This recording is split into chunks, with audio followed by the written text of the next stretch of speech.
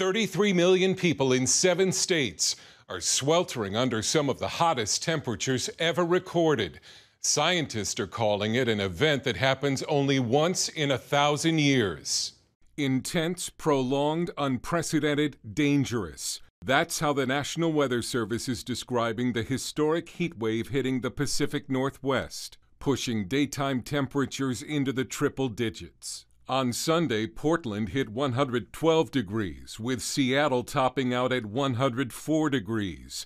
Today, they're expected to go even higher. To have such hot temperatures in June is historical. We haven't had anything like that. Experts say the northwestern United States is under what they call a once in a millennium heat dome that has ground many normal activities to a halt.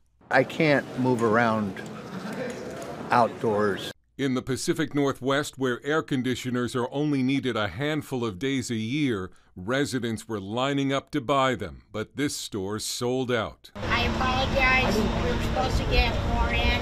On top of that, the power demand has caused outages for some 3,000 customers in Portland and 3,400 in Seattle.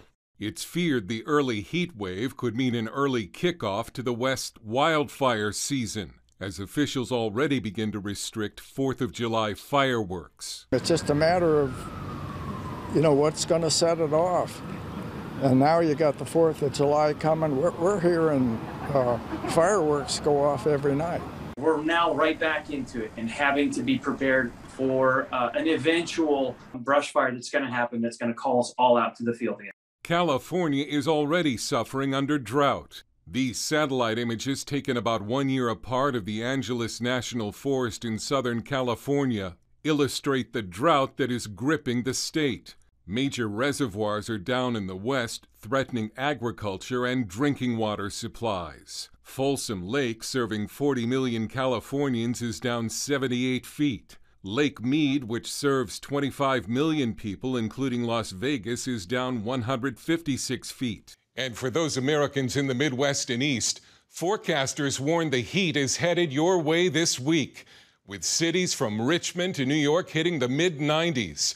And in some places, it could feel like the triple digits. Dale Hurd, CBN News.